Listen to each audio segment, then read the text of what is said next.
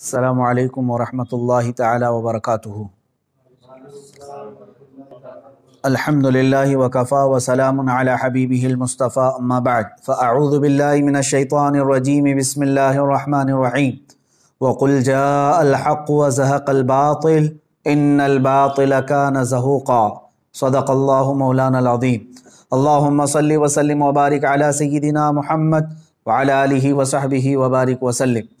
عزیزہ نگرام وقار، ہندوستان کے حالات کافی ابتر ہیں۔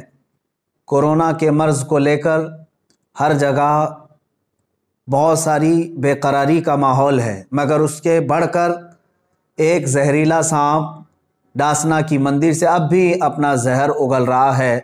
چند دنوں قبل جس نے پورے ہندوستان کے ہندو مسلم ماحول کو خراب کرنے کے لیے میرے آقا صلی اللہ تعالیٰ علیہ وسلم کی شان کو نشانہ بنانا شروع کیا، مسلسل پچھلے دو ماہ سے وہ ابھی اسی طرح کا زہر اگل رہا ہے۔ آپ حضرات کو معلوم ہے، پچھلے دو ہفتے قبل میں نے اس کو مباہلے کا چیلنج دیا تھا اور وہ ایکسیپٹ کر کے بعد میں پرمیشن کا بہانہ بنا کر میدان سے بھاگ نکلا۔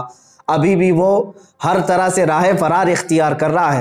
مگر اے مسلمانوں، یہ بھی برداشت اور حد سے زیادہ ہو گئی۔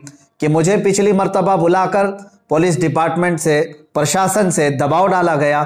اچانک میرے گھر پر پولیس اور آفس کو دھکا دے کر کے اندر پولیس اور بغیر کسی نوٹس کے پولیس والوں نے میری آفس پر اس طرح سے آ کر کے تماشا کیا۔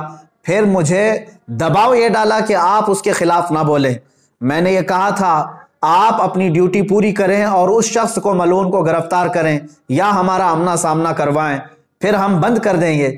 لیکن حد ہو گئی کہ ساری چیزوں کے بعد پولیس پرشاسن کی طرف سے یقین دہانی کرانے کے بعد بھی آج پھر سے وہ خبیص ملون پھر سے ویڈیو اپلوڈ کرتا ہے اور اس میں پھر زہر اگلتے ہوئے میرے آقا صلی اللہ تعالیٰ علیہ وسلم کی شان میں بڑے بھدے اور غلیظ کلمات بکتا ہے۔ وہ کہتا ہے، محمد صلی اللہ تعالیٰ علیہ وسلم، عورتوں کے رسیہ تھے، معاذ اللہ، نعوذ باللہ من ذالک۔ وہ عورتوں کے معاملات کو لے کر اس پاکھنڈی کو یہ بتایا جائے کہ جس پر خود بلاتکاری کا معاملہ ہے، جو خود جو ریپسٹ ہے، اس کی اوقات نہیں میرے آقا صلی اللہ تعالیٰ علیہ وسلم کا نام لینے کی۔ اور یہ ملعون بھر سر اعلان کہتا ہے کہ میری زندگی کا ایک ہی مقصد ہے، اسلام کا وناش کرنا، اسلام کو ختم کرنا۔ اس خارش زدہ کتے کو اپنے بدن کی کھجلی مٹانے کی طاقت نہیں ہے۔ اسلام کو سرزمین اور ہند سے مٹانے کی بات کرتا ہے۔ یاد رکھو یونان و مصر روما سب مٹ گئے جہاں سے۔ باقی مگر ہے اب تک نام و نشاں ہمارا۔ باقی مگر ہے اب تک نام و نشاں ہمارا۔ اور ہم اس دھرتی پر رہیں گے اور ہر بار کہتے رہیں گے اللہ اکبر۔ تم ہزار بار ہزار ٹکڑے کر لو، ہر ٹکڑا پکارے گا اللہ اکبر۔ انشاءاللہ العزیز اسلام اور قرآن عظیم اور محمد عربی صلی اللہ تعالیٰ علیہ وسلم کی ذات پر بھونکنا بند کرو۔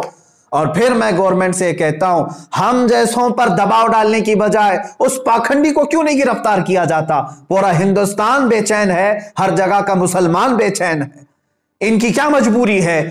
یہ ہماری تحقیق پہ پیچھے لگ گئے۔ ہمارے آس پاس والوں کو گرفتار کرنا شروع کر دیا، ہمیں نوٹس دینا شروع کر دیا۔ یہ کون سا دغلا انصاف چل رہا ہے یہاں پر؟ جو پروٹیسٹ کرنے جا رہے ہیں، ان بچوں کو ایف آئی آر کر کے اندر کیا جا رہا ہے؟ اور اس خبیص ملون کو بھوکنے کی کھلی آزادی دی جا رہی ہے۔ اس دغلے پن کے ہم خلاف آواز اٹھا رہے ہیں۔ اور اے مسلمانوں، یہ میرا میسج ہے۔ کافی دنوں سے انتظار میں ہے۔ میں علماء زبیل احترام سے کہنا چاہوں گا، جتنے لوگوں نے مجھے میسج کیا، سب اپنے آپ تیار رہیں۔ انشاءاللہ العزیز یہ فقیر قادری دلی پہنچنے کی پوری کوشش کرے گا سترہ رمضان المبارک کی تاریخ ہے۔ انشاءاللہ العزیز اس تاریخ کو یا فتح اسلام ہوگا یا تو پھر یہ ایکشن لیں گے یا پھر ہمیں یہ گرفتار کریں گے۔ بات آپ تک میں نے یہ میسج دینے کے لیے آپ کے سامنے حاضری دی ہے۔ تمام علماء زویل احترام آج ہی سے اپنی تیاری شروع فرما لیں اور سترہ رمضان المبارک تیس اپریل کی تاریخ ہم نے دی تھی اور ہم چاہتے ہیں کہ وہ آمنا سامنا کرے۔ اس پاکھنڈی کو اگر اپنی حقیقت بتانا ہے تو وہ آئے مردود زمانہ ہمارے سامنے۔ جتنا وہ بیٹھ کر گوفے میں بھونکتا ہے، ایک بار وہ آمنا سامنا کرنے کی کوشش تو کر لے۔ میں بار بار اس چیز کو للکارتا رہا ہوں چیلنج کرتا رہا ہوں۔ پرشاسن سے میں بڑے ادب کے ساتھ کہوں گا، یہ بات بولنے کی مجھے ضرورت ہی کیوں آتی؟ اب تک اگر تم اسے اریسٹ کر لیے ہوتے۔ یا اپنی ڈیوٹی پوری کر رہے ہوتے؟ اب اس کے بعد عوام الناس کے لیے کیا فیصلہ ہوگا اور کیا میسج جائے گا؟ اکابرین سے، علماء سے مشورہ کر کے کل انشاءاللہ العزیز یا اس کے بعد آپ تک بات پہنچائی جائے گی۔ ہر علاقے کا مسلمان بیدار رہے گا۔ انشاءاللہ العزیز ہم یہ بتائیں گے کہ تم جن کو ایزی کیک سمجھ کر کے بار بار کھاتے رہے نام رسول پر اب ہم اپنے آپ کو کھانے نہیں دیں گے انشاءاللہ۔ ہاں مصطفیٰ کریم صلی اللہ تعالیٰ علیہ وسلم کی عزت کی بات آئے گی پھر تم ہمارے ٹکڑے کر لو یا جس طرح سے بھی ہمارے ساتھ معاملہ کرو ایک دن نصرت الہی تو آنا ہے۔ اللہ رب العزت کا قہر اترنا ہے اور ان سب کو وہ زمین پر انشاءاللہ العزیز بھسم کرے گا۔ ہم تو امید یہ لگائے بیٹھے ہیں، اے رب ذوالجلال، وہ دن بھی دکھا جب یہ خارج زدہ کتا تڑپتا ہوا مر جائے اور بھونکنا بند کرے، اس کا انجام بھی ہم یہاں سے دیکھ کر کے جائیں۔ میرے عزیزو، یہاں پر آخری میں ایک میسج یہ دیتا جاؤں گا، جن لوگوں کو یہ بے چینی ہے باز میڈیا رپورٹرز اور دوسرے لوگوں نے مجھے رابطہ کر کے یہ کہا کہ اس سے ہندو، مسلم یا کمیونل ہارمونی نہ پیدا ہو جائے۔ میں اس کو سپشٹ کرتا ہوں، بار بار میں کہتا آ رہا ہوں، ہندوستان کے دیگر ہندوؤں سے یا دوسرے پنڈتوں، سنتوں اور مہنتوں سے میرا کوئی جھگڑا نہیں۔ میں ان سے کوئی باز پرس نہیں کر رہا ہوں۔ میرا جھگڑا اسی سے ہے جو میرے نبی کی شان میں بھوک رہا ہے۔ اور جو اس کے چیلے چپاٹے ہیں، باقی سارے ہندو، باقی سارے دیش واسی دوسرے سنت، مہنت اور پنڈت جتنے ہیں، وہ سب امن کے ساتھ رہتے میں جانتا ہوں ان بہت سارے پنڈتوں کو جو میرے نبی کونین صلی اللہ تعالیٰ علیہ وسلم کا ریسپیکٹ کرتے ہیں۔ اسلام کی عظمت کے وہ قائل ہیں۔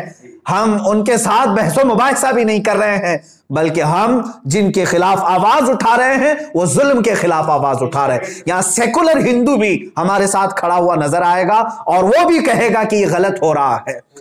یہ غلط ہو رہا ہے کہ ایک شخص کو اتنی چھوٹ دی گئی ہے کہ وہ اناپ شناپ بکے جا رہا ہے۔ ارے، ایک ہوتا علمی اختلاف، لیکن یہ تو گالی گلوچ پر اتر آیا ہے۔ اور ہم نے کہا گالی دینا ہے۔ ہم جیسوں کو تو ہزار گالیاں دی جا رہی ہیں۔ اس خبیص کو بھی یہ چاہیے تھا کہ تو مجھے نشانہ بنا لے۔ قرآن، اسلام، رسول پاک صلی اللہ علیہ وسلم کی ذات، یہ ہماری جان ہے۔